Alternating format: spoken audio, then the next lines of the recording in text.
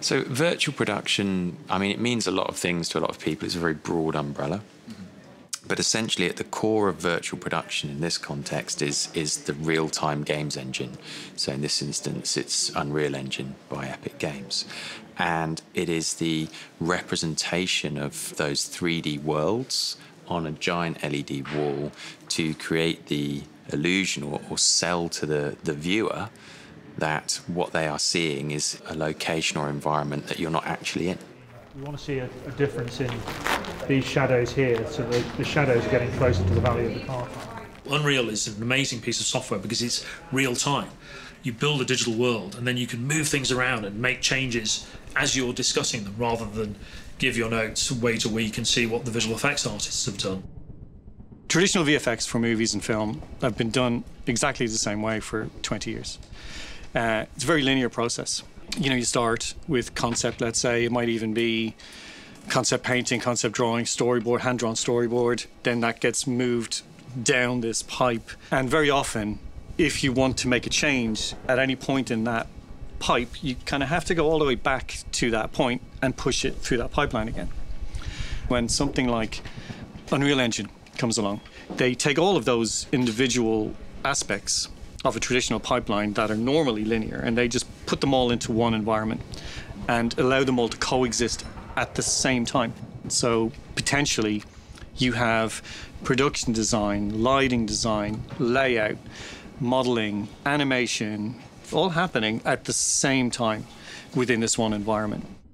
These people can pull their experience and vision together in a way that allows for greater creative freedom through more rapid iteration and feedback and being able to see the results prior to principal photography.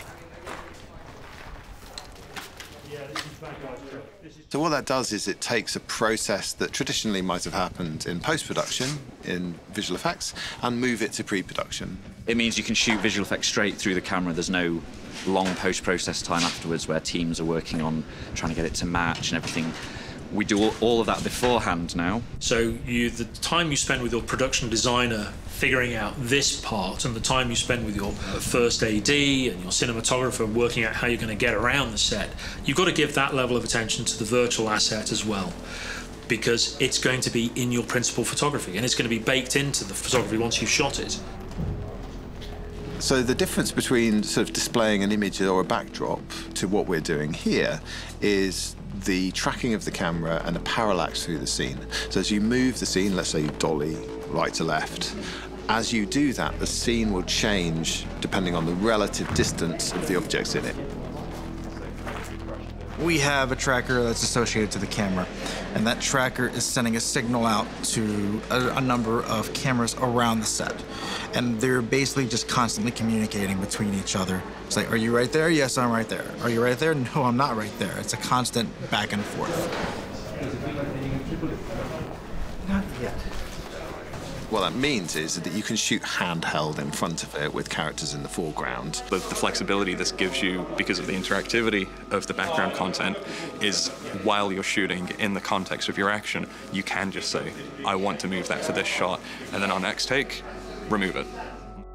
When you start to think about being able to move the world rather than the camera, let's say I want an aerial shot.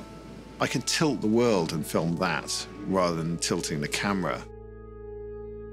Once you're in the digital world, you can do whatever you want. It's infinitely malleable. You can do anything. And for me, this was a way of taking what I would have done as a visual effects artist and bringing it really onto the set